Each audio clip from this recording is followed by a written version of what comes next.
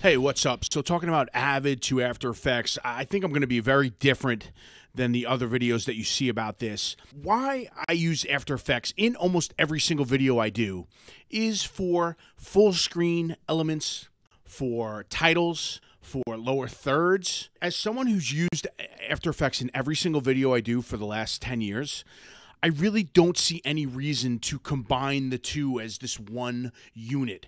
So I know there's a process to do that. I'm going to even leave links in the description below where people show you how to do that. You export an AAF file and then you import it as a pro import, and then all those clips come into your After Effects as if they were an Avid. But here's what I'm going to argue against it works fine and it's easier to organize and to replace clips if you think of them as completely separate elements. The idea that you're saving so much time by linking and, and being able to go back and forth, I don't think it saves you that much time.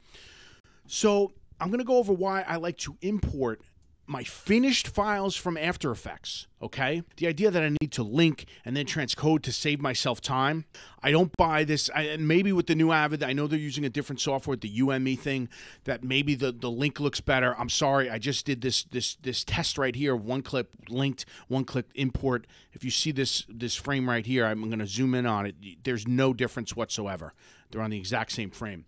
And your idea is, well, if I link, it's easier for me to change that. And I'm going to show you how I change a, a, finished file right now. So we have this graphic, and this happened to me many times with this project I was working on. Somebody gave me all these these titles and these names or whatever, and then when they went back, somebody, uh, you know, maybe who worked at this this hospital said, no, we'd rather have this title on it, whatnot.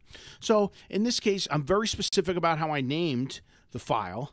This one's called her name dash dash ID and so in this case, if I was to change and I was going to add something that says, and she loves beer, what I'm going to do is I'm going to render that. And what I'm going to do is go and find the folder. And here's the really the trick the way I do it. I don't want to make a second copy of this. I don't want to have the original copy. I'm pretty diligent about this. When I first started doing After Effects, I used to never go over anything I already made. I was nervous about that. So I'd have this file. I'd say I would have her name, file two, three, four, five, six, seven, eight, nine, ten. I would never go over the same file. And finally, I got confident enough or realized that really wasn't the smartest way to do it. So in this case, I have her her name, and I'm, once I click on it here, it's actually going to change it in the file name, whatever I wanted to here, which is kind of a, a pretty cool uh, time saver there. And now once I have this name in here, I'm going to hit save. It's going to tell me this file already exists. Do you want to replace it? And this is the big thing. Yes, I do want to replace it. I want to replace this old file with this file that says, and she loves beer. And I like the fact that it's rendering in a separate program. I don't like that they're connected in Avid and After Effects. I now I'm doubling the chance of, of a problem. I'm doubling the chance of something crashing, right? So now this file is rendered.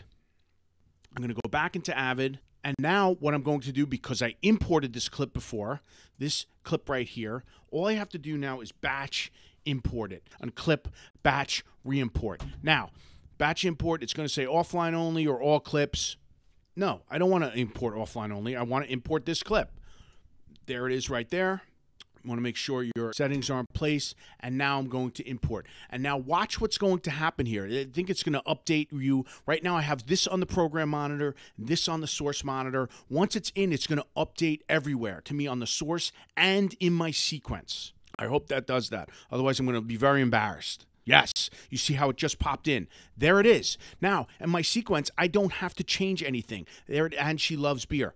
It's already there. It's, it, so that is, in a sense, to me, what the link and the Avid link is. And the idea, again, I did this for nine different pieces, and to have each one export to AAF, Pro import, Pro After Effects import, change it, then come back, change it again. No, because what I did was, in a sense, think about even this as a workflow. What I did was each person at a time here, and then I rendered them out. So I was in one, I wasn't going back and forth between two programs, between two workflows, between making my head explode. I finished all these, then I imported them into Avid, cut the clip in like a normal clip, right? Just just like any B-roll clip, something you shot on camera. If I needed to change it, you just saw the workflow I did to change it. Just replacing the file in After Effects and then batch importing in Avid, and it pops up. If this clip was in 25 sequences, it would all come in and say, and she loves beer. The only other thing to think about from an Avid to After Effects workflow is that in this case, I had this move. I put a picture in an After Effects comp, and it had this pretty cool move right here. Now, let's say for some reason I didn't want to use a picture. I wanted to use some sort of video from a video I made. Same thing. I would not want to make ad edits and then link it and then be stuck to those frames right there. What I would do, keep it all as a separate element. I might, I would export this, and for the sake of time, I'm not even going to worry about codecs and, and, and frame rates and all that stuff. So I just exported something to my desktop and let me see if I can find it. Export it here, and then instead of this this pick, I'm replacing it right here, and then I had this move that happened right here. And I said, now I'm doing this video here. And I would render this and it'd be its own separate ele- element. I don't want things combined. I'm sure there are people smarter than me that have no problem linking and feeling comfortable with the linking stuff. I'm going to show you a clip here I had I made from Premiere one time when I actually even tried it in Premiere with the Adobe back and forth.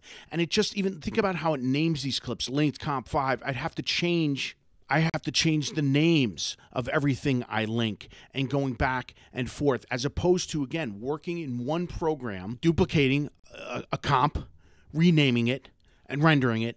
And then when I import everything into Premiere, it's like I have clips. I don't need to go back and forth. I just showed you what I think is the best way to go back and forth. That's replacing the clip and then batch importing. Or in Premiere, if you replace the clip in Premiere, it automatically updates. You don't even have to do that step in Avid of batch import, which is pretty cool.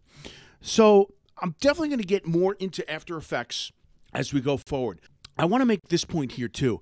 I would never go into After Effects. One one one system's better for editing, one system's better for making graphics, and there's no reason to combine the two. The idea that I would bring this sequence with the cuts so I can do something, even if I had a music video where I was going to make something with After Effects on every single cut, I wouldn't bring it in with the AAF Pro import so I can adjust cuts in After Effects. I would lock it down. Video would be locked down in Avid. There would be no reason ever to change a frame, which again, uh, I, I, that causes its own set of problems. I would, I, I would imagine. I hope this helps people, and I hope this helps people not feel over intimidated or feel like, oh my god, I got to figure out this linked workflow between Avid and After Effects. I say no. I say no. You don't.